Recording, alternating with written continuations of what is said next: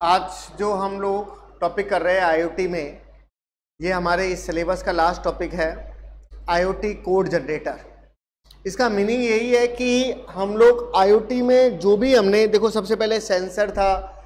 Sensor से हमने networking पे आए नेटवर्किंग के बाद क्लाउड कंप्यूटिंग पे आए। क्लाउड कंप्यूटिंग के बाद में हमने प्रोग्रामिंग को शामिल किया।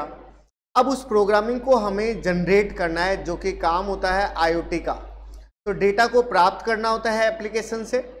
अलग अलग प्लेटफॉर्म से हम लोग उसको प्राप्त कर रहे हैं।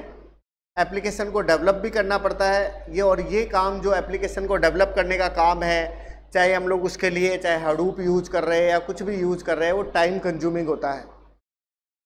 इसके अंदर हम लोग डेटा फ्लो मॉडलिंग लैंग्वेज भी यूज़ करते हैं। ये एक डिज़ाइनिंग कंसेप्ट है ताकि सॉफ्टवेयर को डेवलप किया जा सके।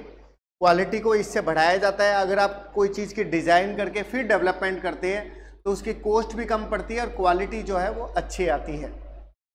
अब आप डायग्राम से अगर इसको समझे तो ये बताया गया है कि डेटा फ्लो डायग्राम में क्या बताया गया है कि जनरल होता है और रेफरेंस होता है। दूसरे साइड जो होता है, वो सॉफ्टवेयर इंजीनियरिंग का जो काम है, वो हम लोग इसके अंदर करते हैं। अब नेक्स्ट जो चीज़ है डॉक्यूमेंटेशन के टाइप होते हैं सर्वे होते हैं तो बेटर ये रहेगा कि आप एक तरह से बेसिक सॉफ्टवेयर इंजीनियरिंग के कंसेप्ट समझ लें, जिसमें आप एनालिसिस करते हैं, फिर डिज़ाइन करते हैं, फिर डेवलपमेंट करते हैं। तो इसके अंदर हम क्या करते हैं फ्रेमवर्क का यूज़ करते हैं कोड को जनरेट किया जाता है। कोड को जब जनरेट कर लेते हैं तो इसमें हमें ड्राइवर की ज़रूरत पड़ती है। ओपन सोर्स कंपोनेंट होते हैं, जिसमें हम लोग एनालिसिस या कम्युनिकेशन का काम इसके अंदर हम लोग करते हैं। और ये लाइफ साइकिल के अनुसार काम करेगा। और मतलब उसका प्रोसेस होगा, उसका एनालिसिस होगा, फिर डिज़ाइनिंग होगा, फिर वो कोड जनरेट होगा। जो भी सॉफ्टवेयर आप लोग समझते हैं, चाहे वो कोई भी सॉफ्टवेयर हो, चाहे वो एंड्रॉयड में हो, चाहे आईओटी में हो, चाहे जावा में हो, चाहे डॉट नेट में हो, उसका एक फ्रेमवर्क होता है। फ्रेमवर्क का मतलब होता है उसमें एक आर्किटेक्चर होता है। बिहेवियर होते हैं, हार्डवेयर का व्यू होता है, फ़िज़िकल स्पेस होते हैं, कुल मिला के सभी प्रकार के कंपोनेंट, क्लासेस और फ़ंक्शन जो है वो उसके अंदर शामिल होते हैं। अब बात करती है कि कोड को कैसे जनरेट किया जाए। कोड को जनरेट करने के लिए जैसे मैं शुरू से बता रहा हूँ कि सॉफ्टवेयर इंजीनियरिंग का एक कंसेप्ट है। सबसे पहले आप सॉफ्टवेयर एलिमेंट को एक्सेस करवाते हैं, फिर उसको कन्वर्ट करवाते हैं। कन्वर्ट करने का मतलब डेटा को प्राप्त करना, वेरिएबल को डिक्लेयर करना पड़ता है। और जब हम उसकी कनेक्टिविटी करते हैं, क्योंकि हमें इसके अंदर नेटवर्किंग की ज़रूरत पड़ती है, और नेटवर्किंग का मतलब कनेक्टिविटी होता है पोर्ट की ज़रूरत पड़ती है इंटरफेस की ज़रूरत पड़ती है। पोर्ट होता है एक कंप्यूटर को दूसरे कंप्यूटर से जोड़ना। तो ये जोड़ने में जो है, ये हमें पोर्ट क्या करता है? मदद करता है।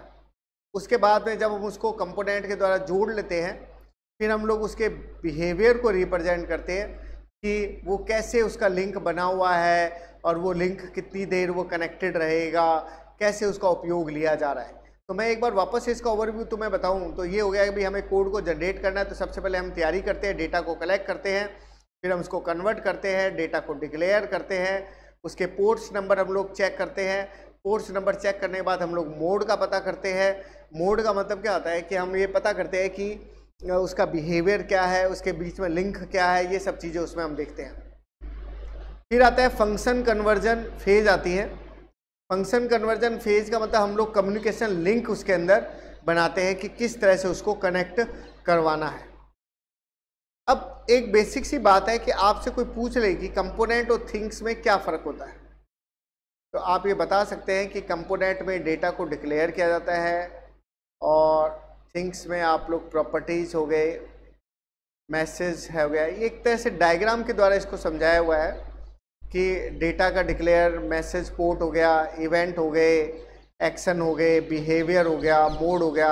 मतलब जितनी भी चीज़ें आपने अभी पढ़ी थी, मोड हो गया, पोर्ट्स हो गया, कंपोनेंट हो गए, प्रिपरेशन हो गया तो वो सारी चीज़ें इसके अंदर शामिल करी हुई है। लिंक किस काम में आ रहा है? ट्रांसमिशन के लिए। ये किस काम में आ रहा है? फ़ंक्शन के लिए। ये किस काम में आ रहा है मैसेज को भेजने के लिए? मतलब वो उसके, सबके थिंग्स हो गए और ये सब उसके क्या हो गए? कंपोनेंट हो गए। अब कोड जो भी आपने बनाए हैं, उसको आप जनरेट करेंगे कोड को लॉन्च करेंगे। लॉन्च करने से पहले वही एस का कंसेप्ट सबसे पहले एनालिसिस करना है इनपुट आउटपुट को इम्पोर्ट करना है फ्रेमवर्क को डिज़ाइन करना है कि आखिर हम क्या करना चाहते हैं, जो अभी मैं दो मिनट पहले ही आपको बताया था। फिर उसके बाद हम कोड को क्या करेंगे? जनरेट करेंगे। फ्रेमवर्क वर्ड बार बार आ रहा है कि एक जीओ इंटरफेस आपको प्रोवाइड कराता है, जिसमें सभी प्रकार के क्लास, मॉडलिंग और इसके अलावा जो कि किसी भी कोड को जनरेट करने में आपको मदद करता है, सभी प्रकार की फाइलें, ये आपको प्रोवाइड कराता है और किसी भी लैंग्वेज को रन करने में आपको क्या करवाता है? मदद करवाता है।